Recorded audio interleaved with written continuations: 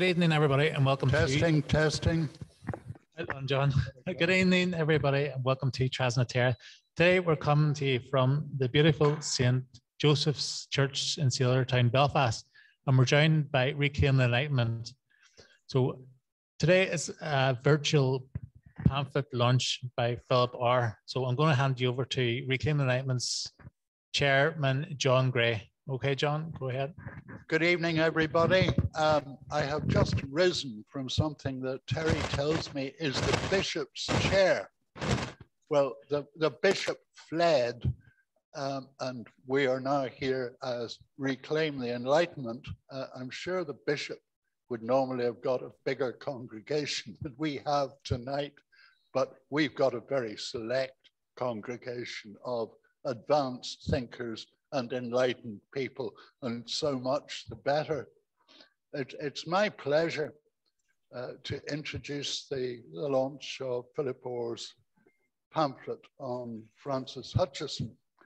Uh, I should say Philip has been a good friend of Reclaim the Enlightenment. He was one of the founding members of the committee. I wouldn't like to say that he has actually fled the country but he is now located in England.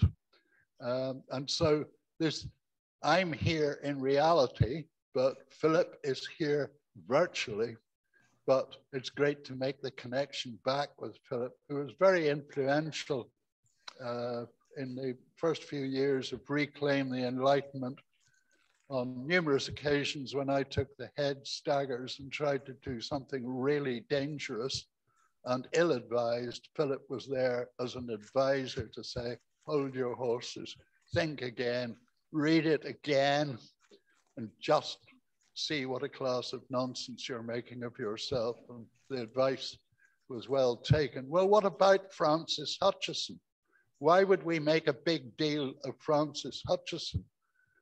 Uh, very few people around here have made any deal of Francis Hutcheson for well over a century.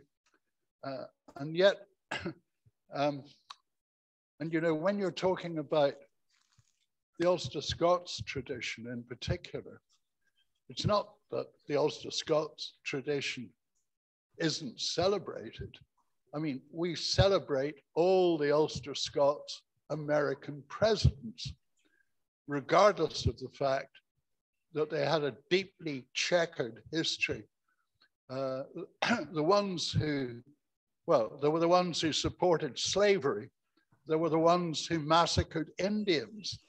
Uh, in no way, by and large, were our Ulster Scots presidents enlightened figures.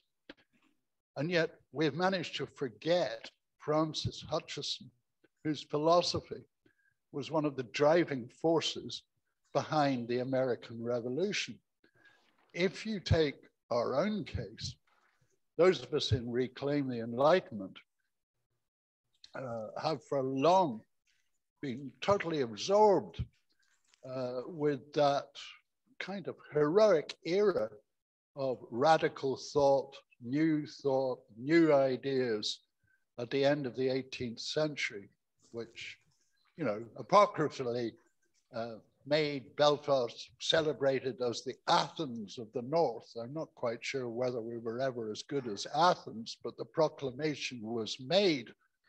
Um, but what actually we didn't really understand was, you know, the grounding and the source of some of those ideas. Uh, and I'll say no more than that.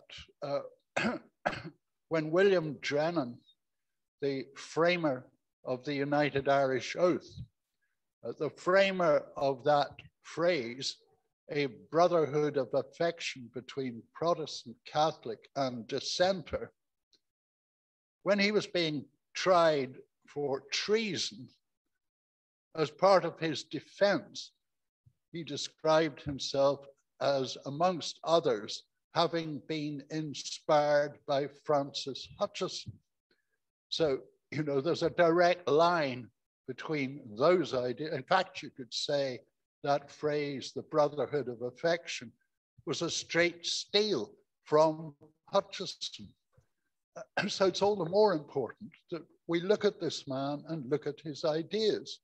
And how bizarre is it that he is still described as the father of the Scottish Enlightenment, and indeed he was the father of the Scottish Enlightenment um, as professor of philosophy at Glasgow University, where he also incidentally trained many uh, Ulster Presbyterian candidates for the ministry because they could not get a university education in Ireland. And those Presbyterian ministers came back infused with the ideas of Francis Hutcheson. And not a few of them uh, became committed to the United Irish cause, or at least to the cause of radical reform. So actually, one of the points of what Philip has done is to put Francis Hutcheson in his proper place as the father of the substantially forgotten Irish Enlightenment. And I mean, again, to come to who gets remembered and who doesn't. In Killyleagh, um, where Francis Hutcheson was educated, at a dissenting academy. Who gets memorialized? Hans Sloane, uh, who didn't spend very much time in Killyleagh, uh, but actually went on to go out to the West Indies and to amass an enormous collection of objects of one kind or another, which actually laid the basis for the British Museum. But Hans Sloane was a supporter of slavery, a beneficiary of slavery, in stark contrast to Francis Hutcheson, who was an implacable opponent of slavery. Well, Hans Sloane gets a statue, but Francis Hutcheson doesn't get a statue. And you know, one of the reasons we want to publish this pamphlet is to get Francis Hutcheson due recognition. And uh, our way of exploring what Philip has been up to is that I'm now going to interview Philip. I'm not a very good interviewer, I haven't done it for years, uh, but maybe this will help help us explain what we're about. So I'll get my wee questionnaire off the floor here.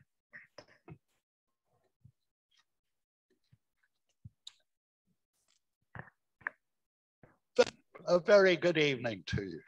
Hello, John. I hope everybody can hear it okay.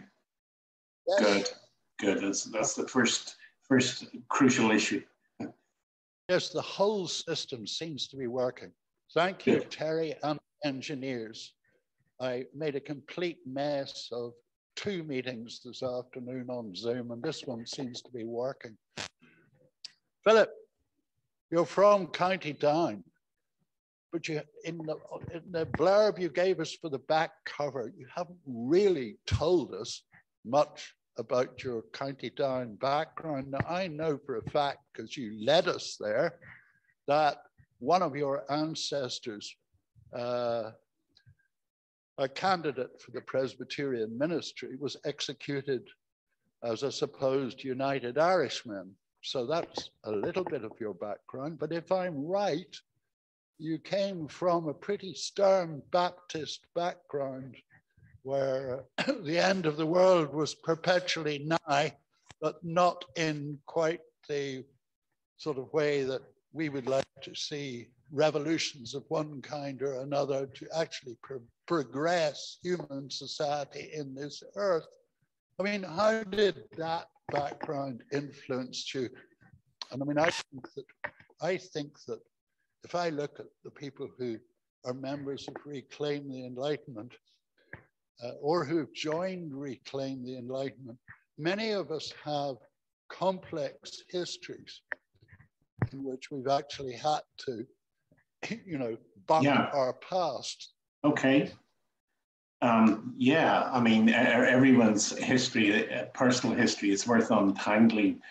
And I suppose as a young fella growing up, um, not far, well, about halfway between Killyleagh and Saintfield, I was probably well placed um, at a later stage in life to start to take an interest in someone, i.e., Hutcheson, who had been uh, who had grown up in um, in, in Saintfield, or in, broadly speaking, in that area, with his grandfather, a, a clergyman, like his father had been a clergyman.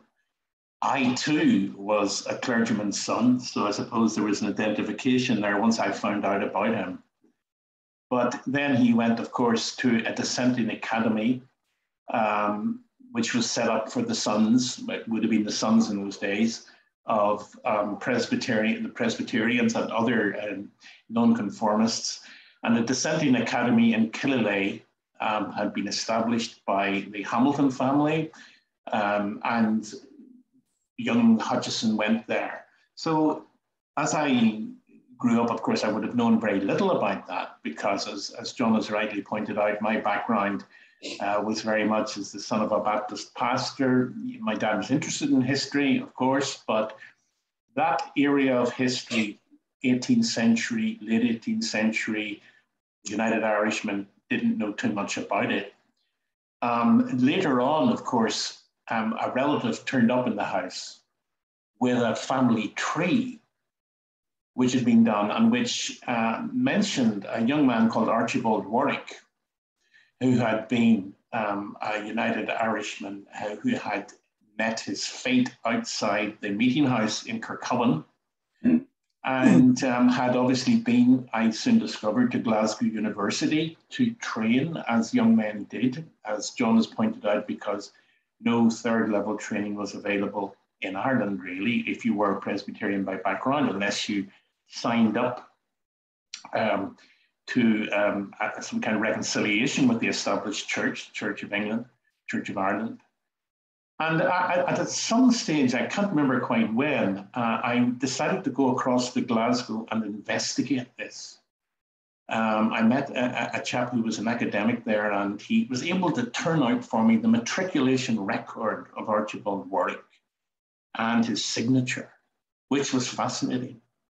And I really um, yearned to know what it was that took um, young Archibald Warwick, very politically, um, obviously a politically alert, radical young man, into uh, the world that he entered. And uh, I suppose that got me interested in Glasgow University. Um, and then I discovered, I think, uh, as well, um, a fortnight magazine supplement. Those of us of a certain age remember Fortnight magazine. Uh, and the supplement was edited by Damian Smyth. And he had done a remarkable job because he got very interested in Hutchinson, Hutcheson. And he'd interviewed different academics around the world and put together a supplement on Hutcheson. And my interest was absolutely on fire. I think because I was intrigued to think that out of the countryside that I grew up in, where I, you know, as a kid stared out on the fields, really. It was a very rural environment. There didn't seem to be a lot way back in the 70s and 80s and early 90s that spoke of world culture, if you like. And here was this man who had really had an influence, as John has pointed out, on American Revolution, influence on um, the Irish Revolution that was attempted in 1798, and here he was growing up where I grew up. And um, that is that was a real winner.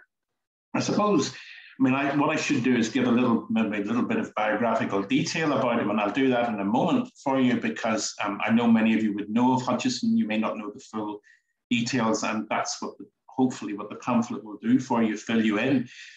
Uh, but um, I was invited by Fergus, who's uh, you know here um, as one of the um, one of the virtual uh, participants tonight, Fergus O'Farrell asked me uh, as a friend way back in, in probably about 2010 or 11 to take part in a project that the Think Tank for Action on Social Change was engaging in in Dublin, TASC for short, and asked me would I be interested in doing a piece. And um, many of the articles were about economic and social hard issues. Um, and what I contributed was an article on Hutcheson, and I got a chance to really explore in depth uh, who this man was.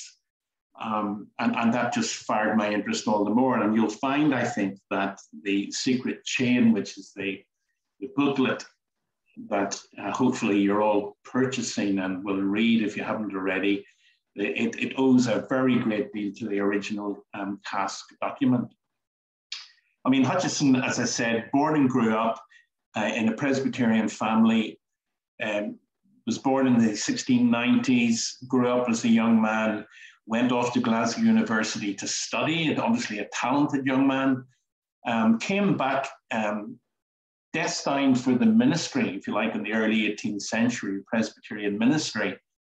Um, didn't stay in it for too long and found himself as a teacher at Drumcondra Lane, basically, in a dissenting academy in Dublin, and found himself, despite his Presbyterian background, mixing and mingling with a lot of the key thinkers and players, especially around Viscount Molesworth, who was a significant aristocrat uh, in, in, that um, North Dublin area, and wrote two of the most significant uh, textbooks um, dealing with the whole issue of moral and aesthetic philosophy. You know, what is a good action?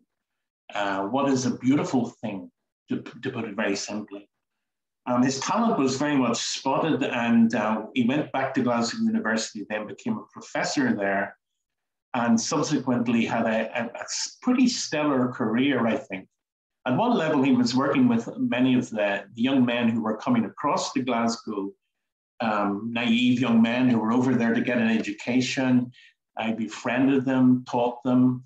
He was what you might call an extracurricular teacher as well, delivered some of the talks into um, the ordinary folk who would come to hear him in English, uh, which was significant. Um, the, the um, scholarly language was Latin.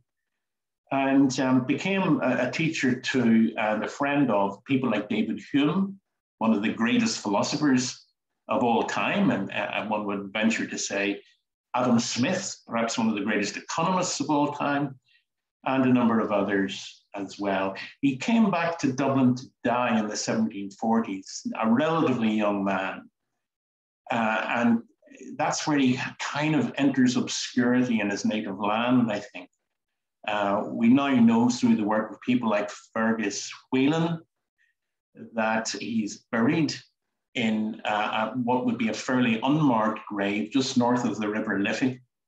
And now an attempt has been made to put a blue plaque up that would remember him. Likewise, something similar in Saintfield, a blue plaque there on the Presbyterian Church. Um, and there are various other attempts to kind of re-invoke uh, his memory because he is an interesting man. And nowadays, I think, as compared, say, with even when I was working with Fergus on the, the TASC project, there's a lot more interest if you go and put in Francis Hutcheson with your chosen topic, you'll find that there's quite a bit of interest. What there isn't is a statue or some other public memorial to him in either the north or the south of Ireland, and that seems to me like um like an absence.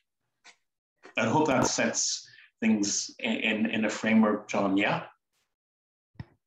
That sets the scene. Um, of course, long before you really started uh, exploring Hutcheson, uh, you had to make a living. And I gather you were a teacher uh, of drama and English. And one thing about Hutcheson is his philosophy with regard to the treatment of children. Mm. Essentially, thought children were essentially good and did not require punishment, yeah. required encouragement in the teaching milieu that you went into. How far did you find Hutchesonian principles observed? That's a really good question, especially as I have, I can see here a former colleague of mine um, joining us, and I can see a former, presumably a former student of mine as well. Um, actually, I taught for a long period in a Quaker school.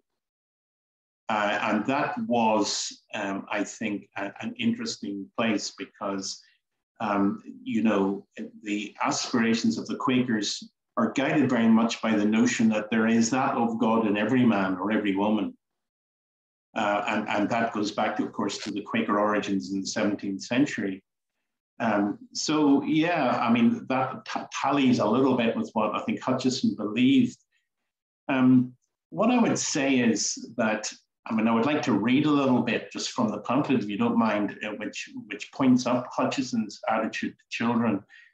I think this ties in very much with his whole sense that human beings have a great capacity for virtue, a great capacity for goodness. I mean, he would have automatically had to sign up to the Westminster Confession of Faith, I would have thought, or at least assent to it. So, you know, he, he would probably not, he may well not have wanted to indulge in thinking about the, you know, the, the, the notion of original sin that all human beings are tarred by, by sin uh, right from the word go. But um, I, I think it's pretty clear that, like a lot of Enlightenment figures, he observed in human beings the capacity, a great deal of intelligence, a great, great deal of capacity, not just for intelligence, but for emotion and for goodness. And, and you know, he, he notices in children the ability to think and care for other children. Now, we know, of course, and that there's there's more to it than that. I mean, I was walking past a, a parent the other day his child, obviously, you know, tantrum ridden, was yelling and screaming. Um, so, you know, children uh, obviously are capable, like all human beings, of both bad and good, if we want to call it that. But like a lot of Enlightenment figures, he, he wanted to point out that, like the world itself, the world itself is full of interest it's full of um, understandable principles. Isaac Newton had pointed out, for example, in, in, in, back in the 17th century, key Enlightenment figure, that the world is understandable, that, that, that it boils down to mathematical principles and it can be observed functioning as, as something that had been authored by God. And likewise, I think, um, you know, many Enlightenment figures saw in human nature some of the basic principles for morality. So um, what he has to say about children is really poignant because his own children, bar one, died before him, predeceased him, like a lot of people in that age. Um, that's what happens through infant mortality. But here's what Hutcheson had to say, and then I'll make a, one or two comments as well that are from the, the pamphlet. Observing the sentiments of children they always passionately interest themselves on that side where kindness and humanity are found and detest the cruel, the covetous, the selfish, or the treacherous. How strongly we do we see their passions of joy, sorrow, love, and indignation, even though there's been no pains taken to give them of ideas of deity or laws or a future state. That's pretty revolutionary to you know a, a hyper Calvinist uh, who would really be emphasizing very strongly, you know, that human nature is is is corrupt and has to be, you know, has to be changed and and and, and altered by um, admission to um, God's grace. That there is a grace in human beings um, that, that permits that. You know, so he, he talks about the kind of affections that children have, um, talks about childhood as an important period time period. And I'm really fascinated um, in, in recent times to think about how that influenced one of the key educationalists in Belfast in the late 18th century or earlier, perhaps. And that's, of course, David Manson. And David Manson, we know uh, frustratingly little about, except that he came from a fairly humble background on the coast of County Antrim but we know that he, he founded uh, an academy um, to teach in Belfast. And that amongst the star pupils, if you like, are both Henry Joy and Mary Marianne McCracken. And um, one of the things that, that Manson talks about is teaching children by amusement. Now, the word amusement has, has, has moved a little sideways to us, you know, as a word, but I think uh, in, in, in that period, it would have meant through pleasure, through enjoyment of what you were doing. not through strict, arid instruction, but through encouraging enjoyment of what you were doing. And so I think we can see there a classic example of how Hutcheson's and indeed other Enlightenment thinkers' thoughts about childhood come through. Advanced, there's advanced thinking going on. Um, and of course, modern educational ideals have very much switched across towards teaching through enjoyment. You talk to any primary school teacher, and I think that's that's what they'll say.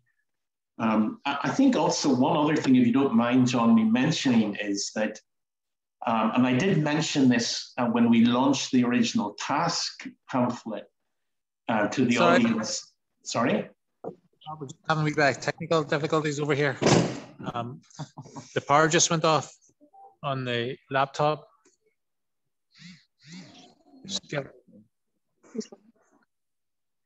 okay, just give me a wee uh, five minutes. Sorry about that, Bob. Are you able to hear me? Yes. Yes. Yes. Yes, we can hear you, Philip. yes. We can hear you. Able to hear you, okay? You want me to just fire ahead? Three, three, two, four. Three, two, four. Well, it's still going on, so.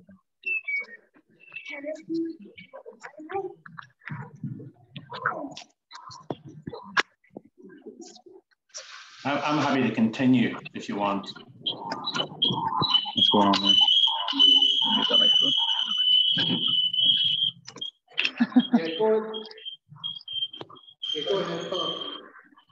Sorry?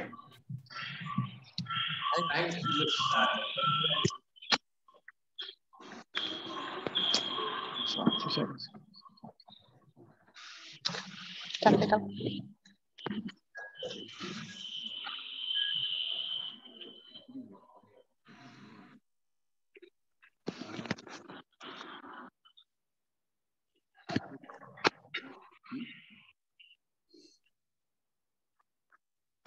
Okay, go ahead. I'll just go ahead, shall I? Yeah. Um, one of the things, of course, that the um, when, when we launched the original TASC pamphlet to an audience of, of the Irish president, uh, uh, Higgins, uh, one of the one of the things that he picked up on uh, was a comment that I'd made in the pamphlet about how it is that this thinking about progressive education wasn't on the um, wasn't on the curriculum of teacher training colleges. You know, and uh, well, why not? Here's a great Irish thinker who's um, providing thoughts back hundreds of years ago about how children's education has to be rooted in enjoyment. And I mean, there's been a sad history, I think, um, both sides of the border, of teaching being undertaken in a very severe manner. I, have only got to think about one particular friend who, who and I, I, I, don't hesitate to mention this. I've been brought up in a Christian Brothers environment in a school in, in, in, um, in County Armagh and had been, uh, as he put it, um, beaten to within an inch of his life um, at various stages. So um, I, I, think what Francis Hutcheson has to say is interesting uh, from different points of view about the, the role of children. I'm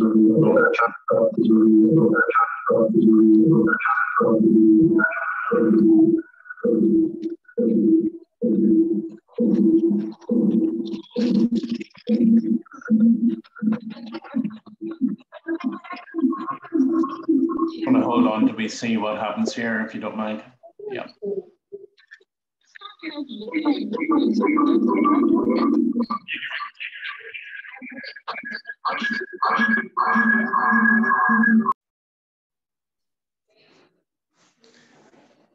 There, that should be it now. okay, is, is John able to join us or shall I just continue or what?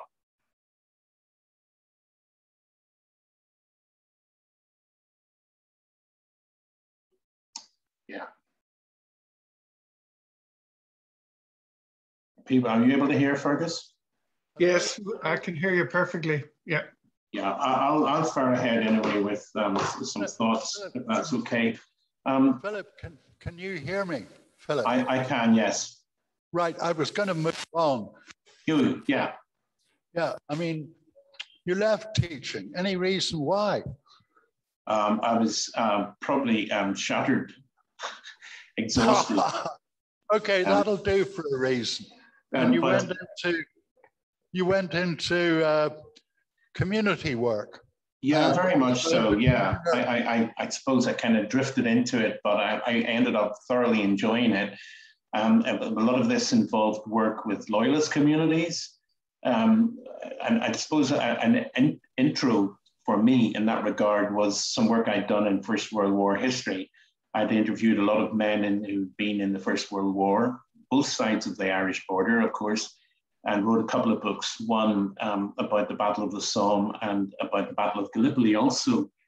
But, uh, you know, I began to see that the, the whole story of the Somme was becoming very much um, a story of choice, a kind of almost like a piece of mythology for, for many communities in, in Belfast and, and across the north of Ireland. And um, I got intrigued by that. And, and um, it gave me a, a sort of an, a role in there to, to, to um, become a bit of a informal historian working with community groups on, on a bunch of issues. And of course, what I did as part of that was very often to take groups of loyalists, and the Republican, sometimes mixed groups on tours of 1798 sites and to talk to them uh, quite a bit about people like Hutcheson as well. And I find a warm and intrigued welcome for that. I'm sure you still do in the in the work that you do in Trashnet. I don't know how to pronounce your um, your group. My Irish is, is poor, but anyway, um, you know, I'm sure that the kind of work that still goes on um, in, in terms of tours is still crucial. I mean, tours of the centre of Belfast, um, the forgotten alleyways where in places like the Crown Tavern, um, the United Irish Movement has its origins.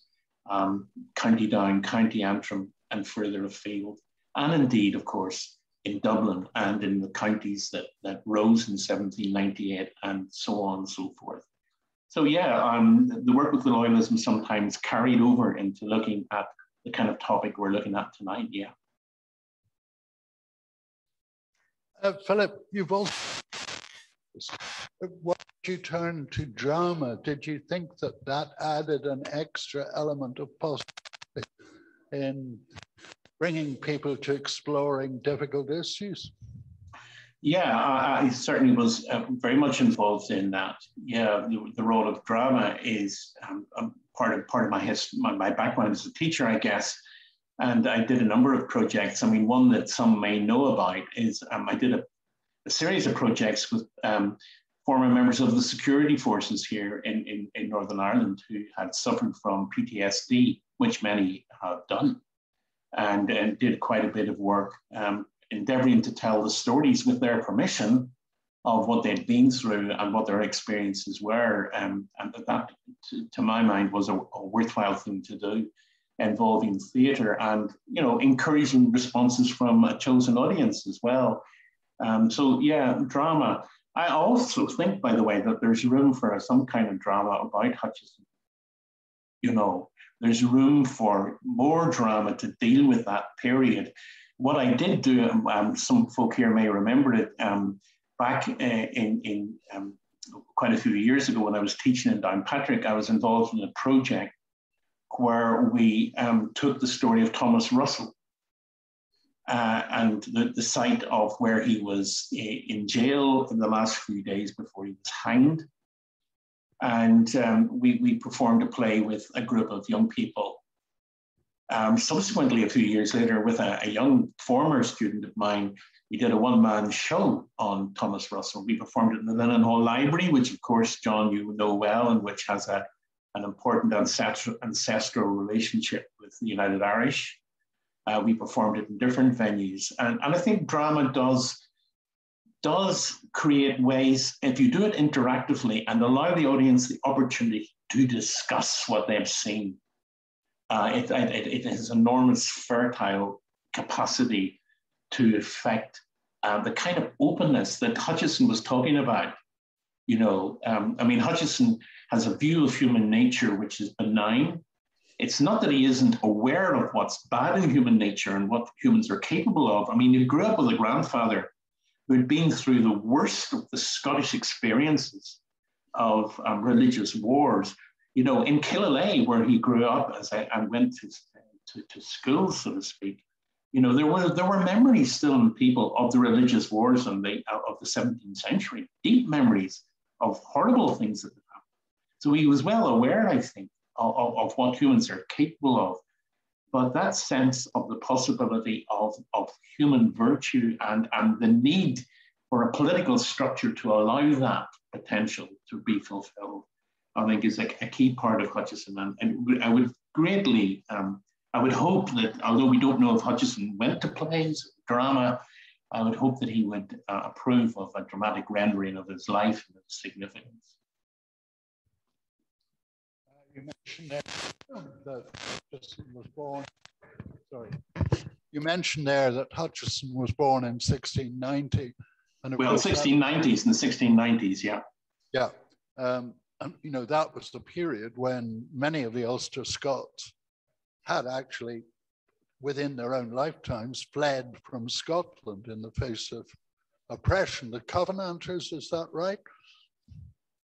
Well, yes, to some degree. Um, I mean, the, the, uh, the, point I was going to make is that, in other ways, Presbyterians uh, were legislated against in Ireland. How how far do you think that Hutcheson's specific Presbyterian background influenced his philosophy? Yeah, well, I mean, he represents a, a, a turn inside Presbyterianism and one that um, still exists in a, in a small fragment, I think, of Presbyterianism in, Ireland still today, uh, in, in, in, the shape of the non-subscribing tradition, which would see itself as being in, in, the, um, in the tradition that goes back to, to Hutcheson. Um, I think um, so there's a turn, you know, it's about the Enlightenment period. And Hutcheson is one of many figures in, in Europe and in, in America eh, and in Ireland and Britain uh, who are imbibing it and articulating a new view of human nature that I've kind of touched about, I touched on a little bit in the last few minutes. But you could say that, um, that one of the features of Presbyterianism uh, is the way in which, for one thing, there's a highly educated ministry. There's a big emphasis on an educated, trained uh, clergy.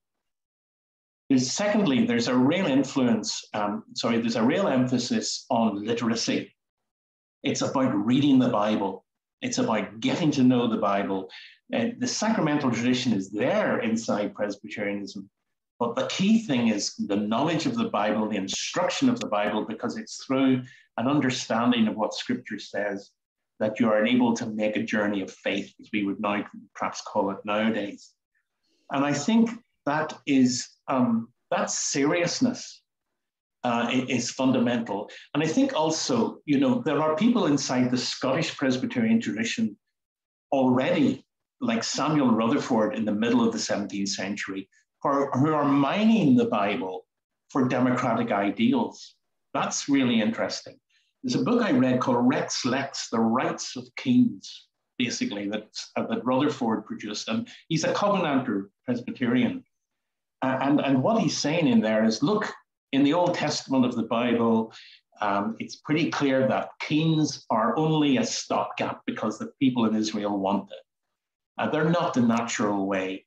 And if kings like Saul or David or whatever don't uh, follow in the right way, and don't follow the people's needs, if you want, um, it's perfectly legitimate to, to ditch them. And I think that, you know, that's a forgotten, um, perhaps a slightly forgotten tradition inside Presbyterianism. But then, um, uh, you know, I think it, it, it, it feeds into um, a, a, kind of what we would now kind of certain bolshiness inside the Presbyterian psyche, you know, um, you know, if, if you're, which you still see today, I think, even in very fundamentalist, maybe Presbyterian churches, you know, if the minister doesn't uh, follow the, um, the guidance of the congregation, doesn't please the congregation, well, he's in trouble. So um, I, I, think this feeds in to some degree into Hutcheson, uh, Hutcheson's ideals about dogma and about, uh, and about dogmatic leaders. He argues very clearly that despotism is against human nature. It's bad for human beings to be under a despotic rule. And of course, that ties very much into what people read of him in America when he became a popular writer in America. Um, yeah, despotic rule is bad. It's bad in, in every way. And it, it, I see a link between that and what Samuel Rutherford is saying as a Presbyterian scholar in the middle of the 17th century. I think too, you know, uh, when, when we talked about the, the, the Quakers a moment ago, and you know the right uh, to, to recognize the, that which is of God in every man. I, I think that also you know there is potential for Hutcheson to acknowledge not just yeah the capacity of humans to err and go wrong, but also that there is that inside them which is uh, an echo of the divine, the capacity to be good, to think about others, to care about others, and to acknowledge virtue. I mean, one of his big contributions we haven't quite touched on, but is he, he sees other senses other than the five senses that we know about. He sees other senses, a sense of honor, a sense of ridicule, and most importantly of all, a sense of morality. That there is a moral sense in human beings. Now, they may differ about what's right and wrong, but they have a capacity innately to think in those terms, in moral terms.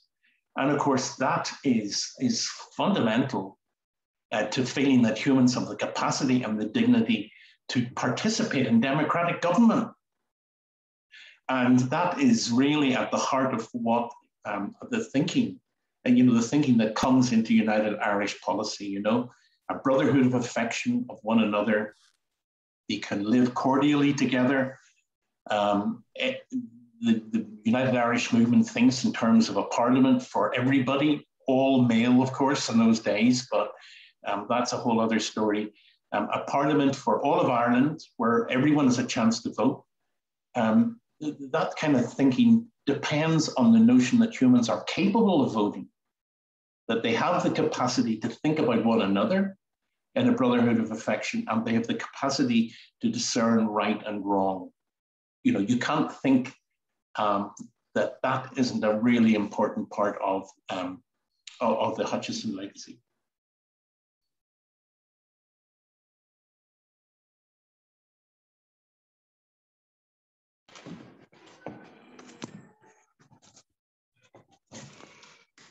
Go ahead. So, John, have you any more thoughts, or shall I continue? Yeah. Um, well, I was thinking you I was sort of, uh, one of my questions was, you know, Hutcheson didn't come from nowhere.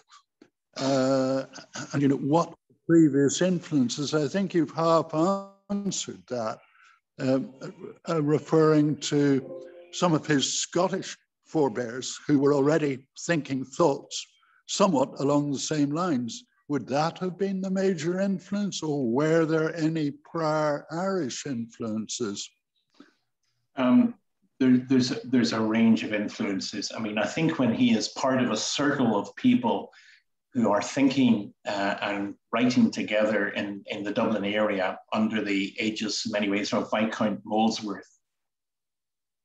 Um, that includes people as magisterial as Dean Swift, for example, of Gulliver's Travels.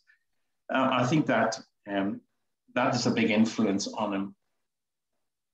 But uh, you know, there's a wide range of influences, I think, with Hutcheson. And, uh, you know, his own teacher, uh, John Simson, for example, uh, at, at, Glasgow University, um, was broadcasting some of this thinking. You know, that humans have the capacity for virtue, and we have to acknowledge that. And got into trouble for it, and, and was regarded in many ways as a heretic. Um, Carmichael, who had been a professor of philosophy um, before um, before Hutcheson took on the role, a significant influence. Um, the friends that he had who were touched by the same thinking, like people like Tom Drennan's, the father of, um, of William Drennan, a lifelong friend. Um, William Bruce, who was a cousin of his, who helped publish him in Dublin, a significant person. Then you've got to think about other philosophers like John Locke. 1690 is a famous date in, in, in local history in the north of Ireland, but it's the date of uh, John Locke's inquiry into human and, and essays about, um, about human uh, understanding. You know, the, a key Enlightenment figure is John Locke. Um, you have Shaftesbury, the third Earl of Shaftesbury, who, you know, in many ways articulates the idea of human virtue and that humans have the capacity to do good. Very, very significant. I mean, I think also that um, Hutcheson's reactions against certain figures are just as important as his, his, arguments for them. And one of the people that he argues against, for example, is, is very much um, uh, the, the influence against Hobbes Thomas Hobbes, of course, Leviathan is one of the great texts that he wrote. And Hobbes, not perhaps to overgeneralize, but I mean, I think Hobbes's argument is that human beings are fundamentally self-serving and that you need a strong, perhaps an autocratic government in order to make sure that, uh, you know, a monarchy, preferably in Hobbes's terms, in order to ensure that things um, stay peaceful it's, it's written during the Civil War, of course, a time of enormous conflict. But you know, it was arguing against Hobbes's view that Hutcheson came to some significance. But I think if you look at the pamphlet um, that we have, um, you know, the pamphlet that we're celebrating tonight, and you look at the picture in the front of it, you will see a picture here of um, by Allan Ramsay, the famous portraitist in, in, in Scotland, and there is a book that he's clutching in his hands. And that book is significant. If you're going to be, have a, a, a painting done of you and you're holding a book, it's significant. And I don't know if you know what the book is, but the book, uh, as I understand it, is a book by Cicero. Um, uh, and of course, Cicero uh, was what they called an academic skeptic. It's an academic skeptic. skeptic. In other words, um, it was part of a movement in classical times to ask that we should not take anything for granted, but that everything should be open to inquiry and to debate and discussion. I think that is really potent as a picture. Um, but it's not the only classical influence. I mean, Hutcheson wrote and translated the works of Marcus Aurelius, famous, um, famous scholar, but also an emperor in, in, in ancient Rome, and famous for being a Stoic and of course, Stoicism or Stoic uh, tradition um, it, it's a really um, it's a really important one, and um, you could say that it emphasizes human virtue. Um, and, and, and the idea that it's our behavior, not just our words, that matters in the practice of human virtue. So I think there's an array of different influences there, from friends right through to um, Scottish influences, through just you know the influence of some of the great philosophers like like um, like John Locke. Yeah. Of course, uh, the interesting thing is to think then about his influence on others and how he, he, he, you know, how he still has an influence today. But I don't know whether you want to open up that for questions, John. Put the mic up, John. Your mic, sorry. He seems to come close to abandoning the concept of original sin, did he? Um, uh, from what I can hear, though, you're asking about original sin.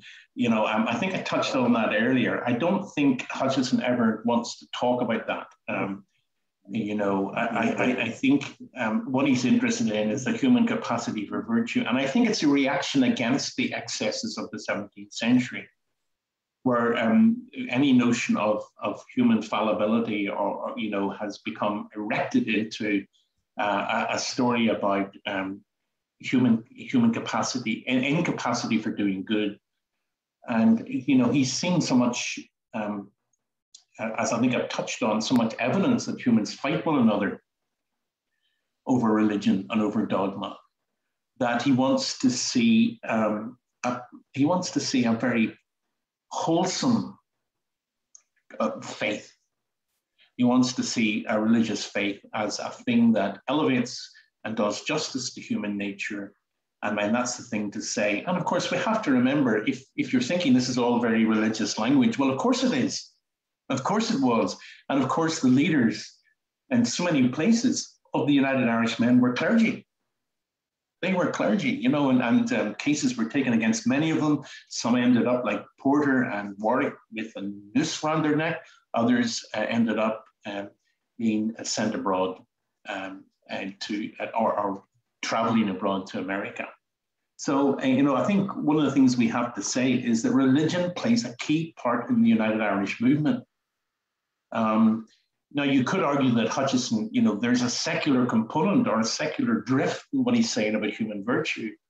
Um, but you have to say that even if you look at Thomas Russell, I mean, Russell in the last few days of his life in jail is arguing about religion. He, he's convinced that the end of the world is coming soon and that Jesus is coming back to Ireland. He's just read a pamphlet by Francis Dobbs that, that argues this. And so he, he, you know, he, he spends his last few days in jail hoping that what he's doing by way of attempting to resurrect the United Irish Project um, is going to hasten the end of the world and the coming of the millennium. So I think one of the things we have to, to, to, take on board when we think about this period is the influence, not of some of the kind of dogmatic, harsh religion uh, that well, sometimes in, in, Northern Ireland we've all been all too familiar with, and certainly I was, uh, but the influence of uh, a religious temperament that seeks to, to do justice to the best in human nature and to see um, and, and, to see uh, that uh, a project of um, dealing with human affairs, reforming, getting rid of despotism, that's part and parcel of the, the, the United Irish project, and indeed a project in America as well. Of course, um, seems to me that uh, um, if you are, do not emphasize original sin, you can move on from that um, to saying that there's no need for oppressive government. Um, is that an appropriate connection with regard to Hutcheson's philosophy? And what John's saying, if you can hear there, is you know one of the corollaries, perhaps, of, of the absence of um, an emphasis on original sin, is that there's not the same need for, for oppressive government. Well, I mean, what I've said about Hobbes there is an argument for oppressive government that humans are so capable, uh, you know, incapable of, of, of naturally doing good um, that you know that requires stern hands at, at the tiller, so to speak. Um, I think um, what is particularly interesting, perhaps, eh, are, are, is some of the case studies of how Hutcheson's thinking in this regard play out in history. So, I mean, I, have talked to you earlier about children and um, referred to a little bit from my pamphlet, but I mean, I'm, I'm interested in just some places in the pamphlet here where I've touched on the influence on America.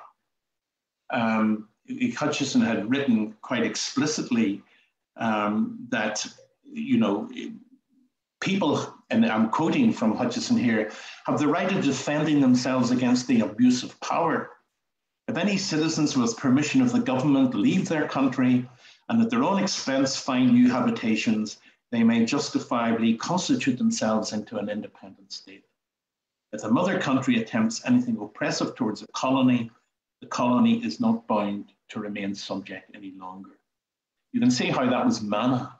You know, that was meat and drink to those um, such as um, that we know about uh, the, the, Thomas Jefferson, Franklin, and others who were in the colonies on the east coast of the Americas and were yearning to break the bonds, really, of what they saw as oppressive British practice to do with taxes and to do a range of other things.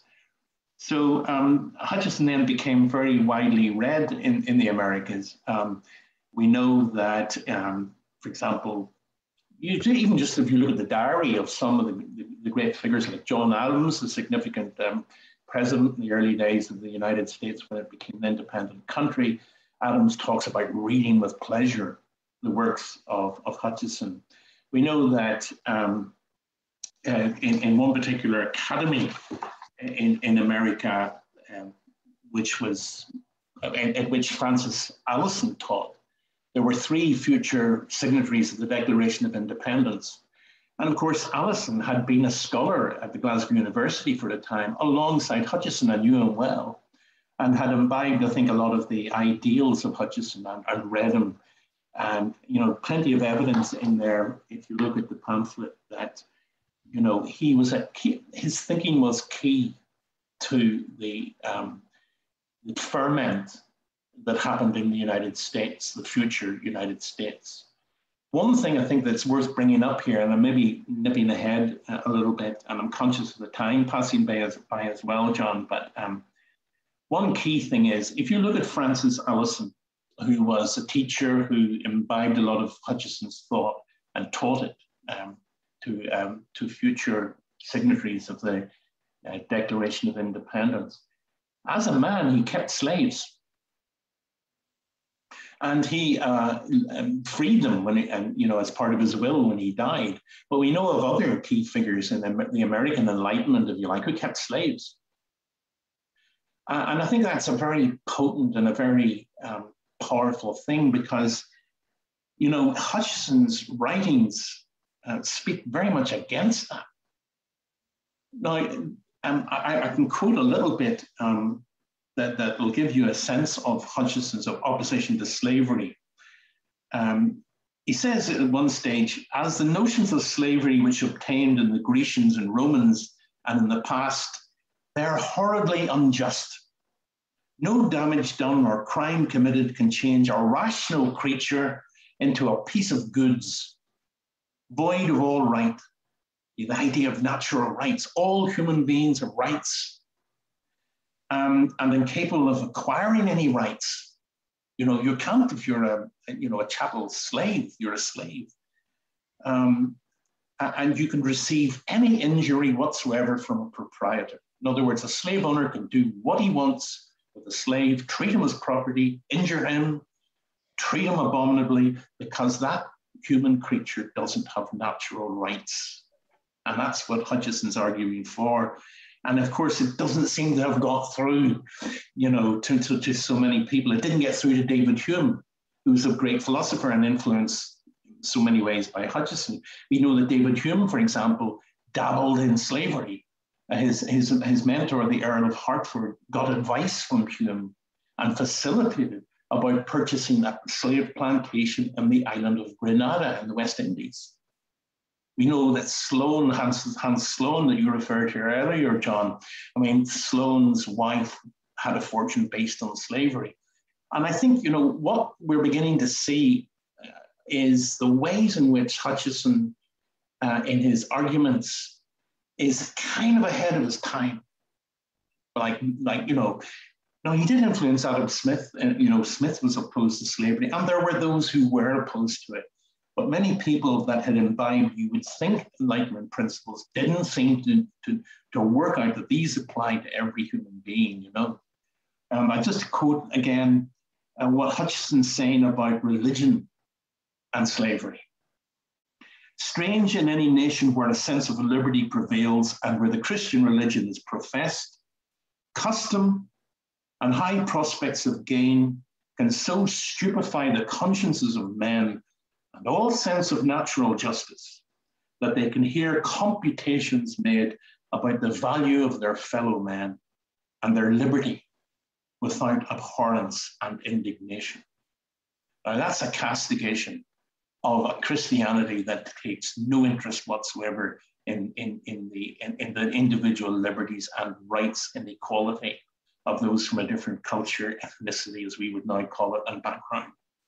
And I think that's where we bring Hutcheson in. You know, I think in one of the questions you've been thinking of asking, John, was, you know, has his time come at Hutcheson?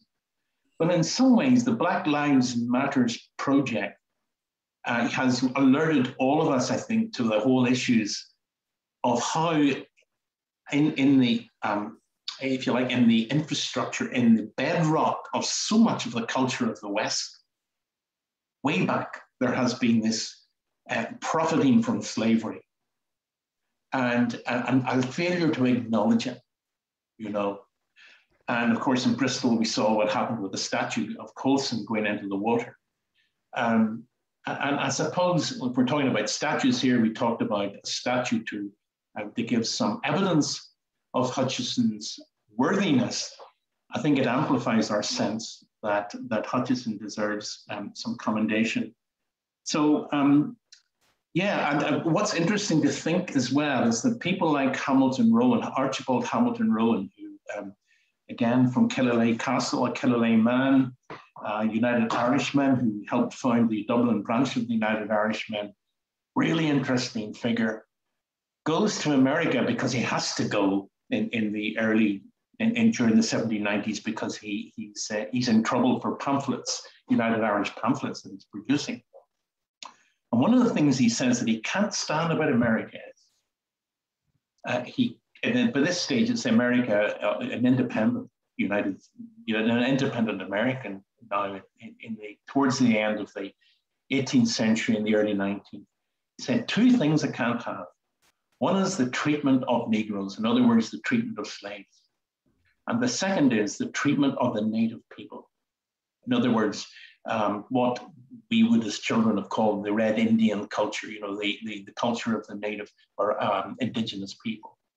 And I find that interesting that there's a scene uh, stretching through from Hutcheson to Hamilton Rowan and further on through uh, into other interesting figures of respect for the dignity of all human beings. Um, when Olaudah Equiano comes to Belfast and comes to the docks where the church is tonight and um, reads from and tries to sell his book about being an enslaved African, uh, one of the key texts, you know, in the early days of um, the, the attempt to emancipate uh, those who were enslaved. And when Frederick Douglass comes to, to, to Belfast, as he did to the rest of Ireland uh, later in the middle of the 19th century, as a former slave. Um, that they're turning up in a place that had a tradition, as we know the United Irish movement did have, of opposing the slave trade in Belfast and slavery, even though some people in Belfast in the 18th century were, like other cities and towns in Ireland, making money from slavery. Um, so um, I, I, think that's a, a, delved forward, forward into another topic area, really. But I thought it was one that's really important to mention tonight in terms of the relevance of this man and what he represents. Um, Philip, uh, as I said in my introduction, Hutcheson is still referred to as the father of the Scottish Enlightenment.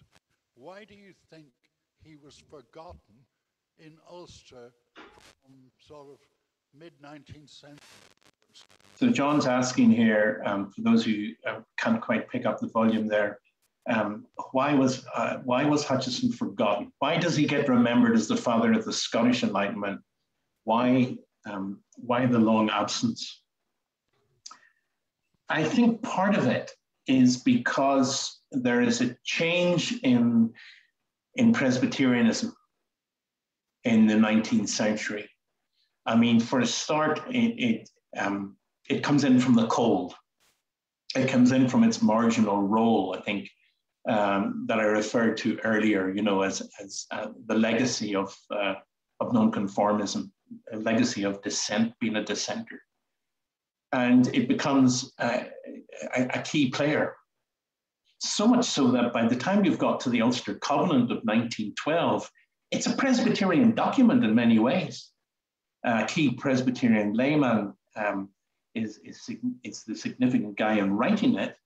And when it comes to the Northern Ireland Parliament being established in its early years, it settles in the, um, the seminary that we came to know as Union College or Assembly's College. And what that journey is about, I think, is in part through, a, through the influence of key, key, key players. Um, it's partly because I think um, nonconformism moves to the center of British society by the middle of the 19th century. But also there are key players like um, the Reverend Cooke, uh, who becomes a significant player in, in Presbyterianism, in Presbyterianism in the mid 19th century. And for someone like Cooke, Hutcheson would have been a heretic, simple as that. He would have been a heretic. And um, because of his views. And, uh, you know, I heard that word subsequently. when I went to little his historical groups around um, Northern Ireland and talked about Hutcheson, I heard people say, oh, that man's a heretic. And that wasn't merely about ideological difference or religious difference, it was about this man is leading um, human beings in an evil direction towards hell. And it's interesting when we put that blue plaque up in Saintfield, what intrigues me is that the who the man who was the minister at the time in the church said that he was very glad to see um, this plaque going up because of the grandfather who was a sound I'm paraphrasing what he said, but basically his grandfather was a sound Presbyterian. By implications, of course, Hutcheson was an unsound one. So I think that accounts for, for some of it. But I think also, you know, I mean, if you consider that he, he, he goes invisible in Dublin as well, that's important. And I don't think that has so much to do with um, the, the growth of a kind of, a certain kind of pro-Tory evangelicalism inside Presbyterianism in the North.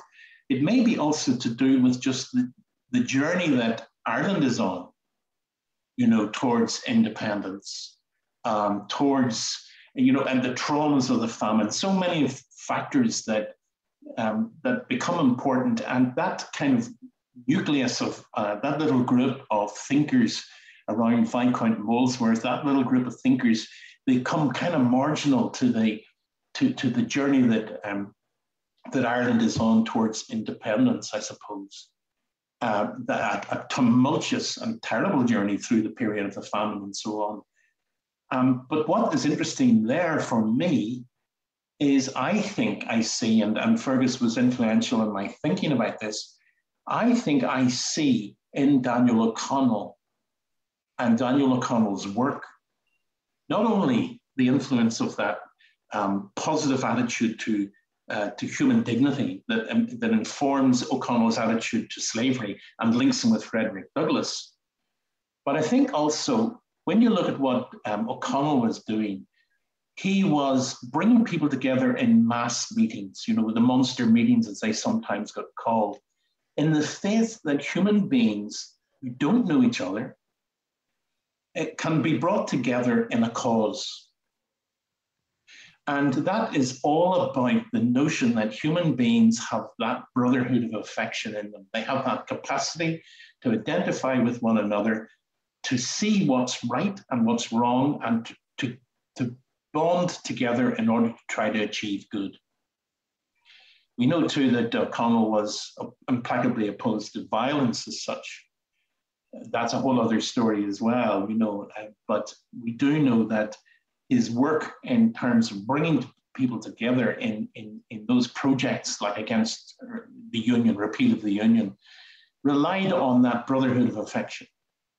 And I would see that as, as you know, what O'Connell did is influential in terms, I think, also what has subsequently happened, where, you know, mass protests can occur. We see it all the time. You know, if a young woman gets raped by a policeman in, in London, which happened recently, not too far from where I am now, it, people come onto the streets and social media, though it has its faults, maybe can enable people to do that and to contact one another and bring people together um, you know, the, the whole notion of, of the overthrow of tyranny, as happened arguably in the former Soviet bloc, can very often be about people getting together. I remember the scenes in Wenceslas Square in, um, in, in, in the heart of Prague.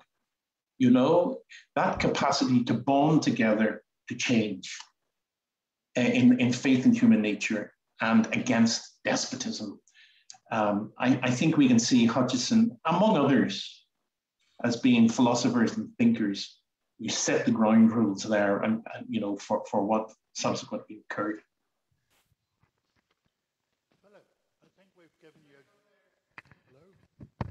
I think we've given you a good run here.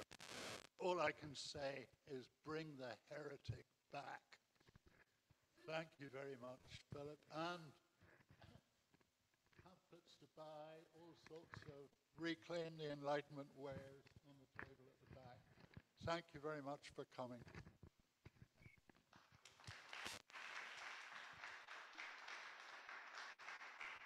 And thank you, Philip. I can hear you. I can hear you. Yeah, I mean, we, we could talk on for another um, long period of time about all kinds of stuff to do with the man, but I do recommend that you you you you put in Hutcheson plus whatever you're interested in uh, into the internet, and and you'll see how he emerges. I mean, his books have been published a lot more widely and much more understood. Go to the Linen Hall Library, that venerable place, and you will see copies of some of his work. Um, philosophy can obviously be a highly obscure thing to work with. You won't find it with Hutcheson. He's accessible, he's readable, um, and he's, he's talks about all kinds of interesting things. His work on laughter is fascinating. What he has to say about comedy and humor, humor is interesting.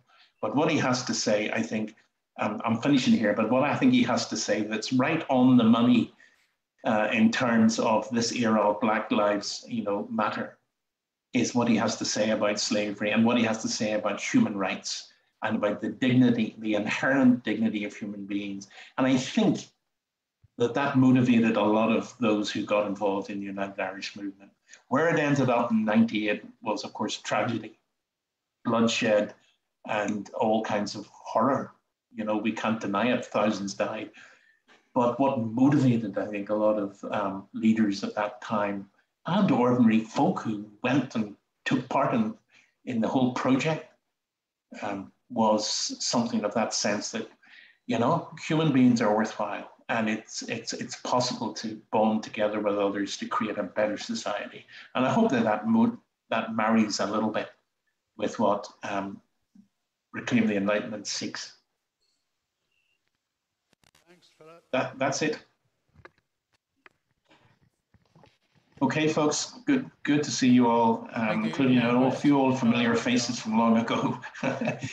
Nice to see you, uh, okay, take good care. Okay, thank you very much, everybody. I'll just close it up there. Thank you.